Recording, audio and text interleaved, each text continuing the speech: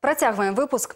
Сёння адзначаецца сусветны дзень прафілактыкі снід. У гомельскай вобласці да гэтага дня арганізавалі тэматычныя акцыі, выставы і круглыя сталы. Адзначым, паводле апошніх дадзеных у рэгіёне пражывае больш за 7 тысяч чалавек з ВІЧ-станоўчым статусам.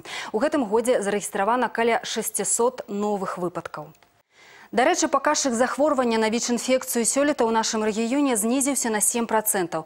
Каб падтрымаць гэтую тэндэнцыю, сёння аб распаўсюджанасці і прафілактыцы захворвання кажуць адкрыта на многіх грамадскіх пляцоўках.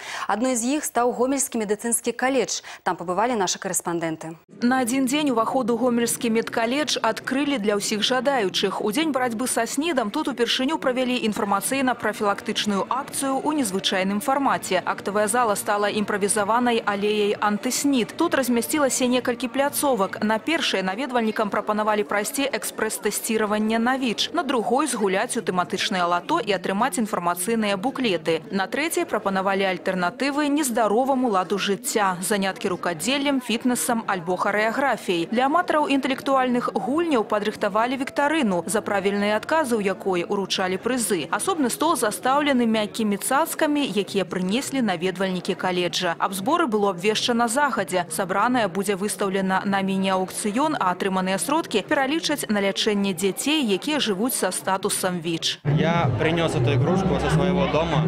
Все учащиеся медицинского колледжа захотели поучаствовать в этой акции. Мы очень любим помогать людям. Мы, мы очень доброй душой, нас этому учат, что нам необходимо помогать людям. Дарэчы, ідэю навучэнцаў каледжа правесці такую акцыю падтрымалі грамадскія аб'яднанні, прадстаўнікі сферы аховы здароўя, адукацыі, многія службы і ведомствы. У гэты дзень у медкаледжы яны сабраліся за круглым столом, каб абмеркаваць аператыўную обстановку ў рэгіёне і абмяняцца вопытам. У нас, у славянских народов, всегда было принято, что в одиночку с бедой мы не боремся, что э, важно здесь объединить усилия и той самой толокой, вот, всем вместе э, пытаться эту беду преодолеть.